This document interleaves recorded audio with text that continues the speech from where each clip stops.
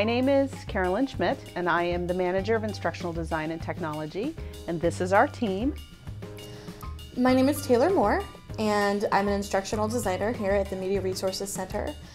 Basically, what I do is help assist professors with building content in their online courses.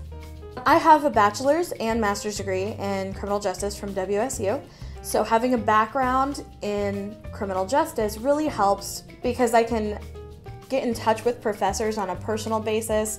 And if there's any questions from professionals that we have here, I really have that background connection. Hello, my name is Tori Wynn, and I am an instructional des designer here at Wichita State University.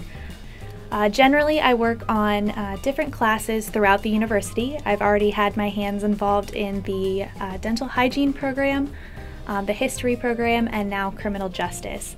Uh, for this criminal justice project that we've been working on, I've been really focusing on the video tutorials part. Uh, the video tutorials are eventually going to become um, a large resource for faculty and students throughout the campus. The video tutorials cover things from how to submit assignments in Blackboard, to how to create self and peer assessments, to how to use Google Docs. Uh, hi, my name is Caleb. Uh, I work here uh, in the Media Resources Center as the Digital Content Marketing Manager. Uh, we do a lot with uh, banners and uh, other images for, for classes. Graphics are important to me because I'm a visual learner, obviously, and if something is not visually pleasing, then I sometimes can, I can turn off and it's hard it's harder for me to learn but if something looks good and it looks nice and can tie together with what I'm learning it helps me learn it keeps me uh, motivated it keeps me engaged with the content and uh, makes uh, the overall experience better I think. Uh, my name is Jay. Uh, I'm an educational technologist here at uh, Wichita State. Basically that's a fancy term for troubleshooter or problem solver I get to work with uh, faculty, staff, and sometimes students uh, to help them solve technological problems. On one given day, I can be working with an ornithologist on campus, and then the next day a violinist, and then the next day a statistician. So I get to meet and, and work with all kinds of folks um, all over the place. I love it. Oh, and I'm also shooting this video. Hi, I'm Mary. I've been at the uh, Media Resources for 19 years right now, and currently I'm working with the IDT department. I do a little bit of everything. Mostly I do the level two Blackboard problem solving for faculty and students. We have a one-stop system here where students and faculty can submit tickets when they have questions. Some of those questions are a little bit beyond the one-stop uh, expertise, so they refer them to level two. And for Blackboard, that is largely myself.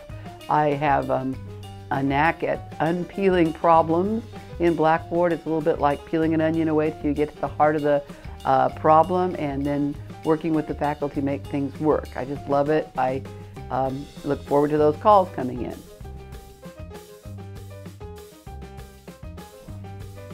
From time to time, we take a couple of weeks out of our regular schedule to focus on a particular department and their needs.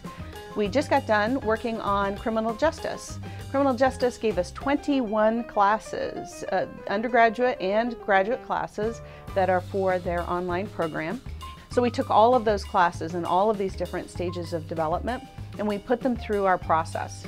One of the things that we do when we do these kinds of programs is to make sure that the courses have a professional look and feel. So the look and feel is going to be different for criminal justice courses than it would be for courses from other departments. But within a particular program, it's going to have a symmetry and a unity to it that's just going to make the students feel comfortable and make the courses feel professional. We are helping to make these courses more accessible and also just more usable for both students and faculty.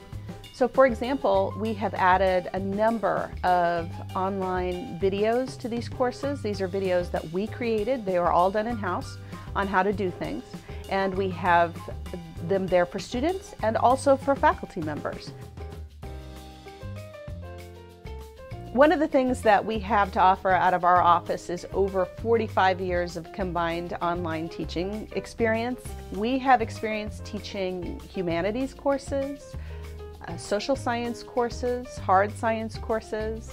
So no matter what kind of challenge you bring to us, we have someone in this office who can help you with that.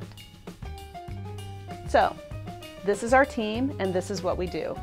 Every day is a little bit different because every day is based upon the needs of the faculty members we work with. So we're basically sitting here waiting for you to come and tell us what to do, and we're happy to work with you.